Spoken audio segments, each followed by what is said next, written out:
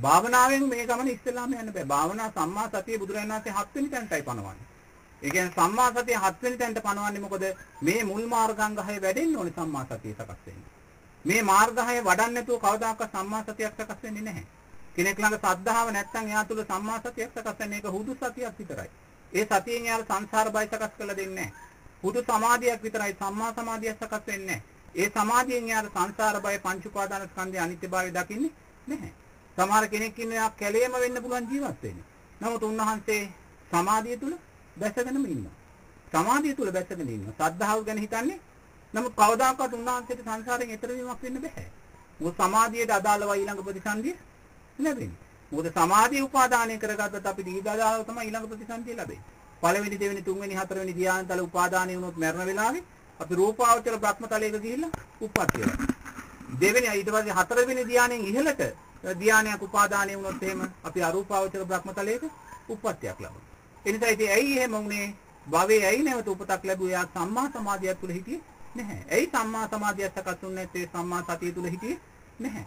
ඇයි සම්මා සතිය සකස් වුනේ නැත්තේ සම්මා වායාම තුළ හිටියේ නැහැ. ඇයි සම්මා වායාමයේ සකස් වුනේ නැතුනේ යා සම්මා ආජීවයේ තුළ හිටියේ නැහැ. ඔහොම උඩට යනකොට අවසානයේදී මොකද වෙලා තින්නේ? එයා සම්මා දිට්ඨිය තුළ ඉඳලා නැහැ. ඉතින් මේකේ ඵලය තමයි මේ මේ අනිත්‍යයි කියන දර්ශනය. අපිට නැතුව නිකන් ගන්න බෑ.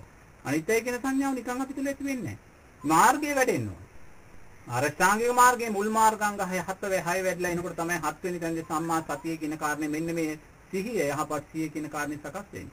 රූපය කෙරේ හරියට බලන්න බුදුරජාණන් වහන්සේ කිව්ව ආකාරයට දකින්න සිහි කල්පනාව පිට සකස් වෙන්නේ. එතකන් සකස් වෙන්නේ නැහැ. එනිසා මේ මාර්ගය වැඩෙන්න ඕනේ මහත්ව. සම්මා දිට්ඨියෙන් නම් මේ මාර්ගය වැඩෙන්න ඕනේ. මාර්ගය වැඩුණ තැනයි මේ කාරණේ සිද්ධ වෙන්නේ. ඒ කාරණේ සිද්ධ වෙද්දී ආයිමත් අපිව තව කවුරුත් අල්ලු කරන්න අවශ්‍ය නැහැ. තව කවුරුත් අපිව මෙහෙවන්න අවශ්‍ය නැහැ. මොකද තමා තුළ මේක වැඩිලා තියෙන්නේ. තමා තුළ වැඩිලා තියෙන්නේ. ඒ කියන්නේ මේක දෙවියෙක් බ්‍රහ්මෙක් දෙනෙකුටවත් අහසෙන් කඩා වැටෙන දෙයක්වත් එහෙම නැත්නම් මගේ පිනට වෙන දෙයක්වත් නෙමෙයි. මාර්ගය තුල ගමන් කිරීමෙන් ලබා ගන්නා වූ දෙයක්. මාර්ගය තුල ගමන්. මගේ ළඟ කොච්චර පින් තිබ්බා කියලා තේරුමක් නැහැ. මාර්ගය වැඩෙන්න ඕනේ. මාර්ගය ක්‍රමානුකූලව වැඩෙනකොට අම්ම සම්මා සතිය කියන කාරණේ සකස් වෙනවා.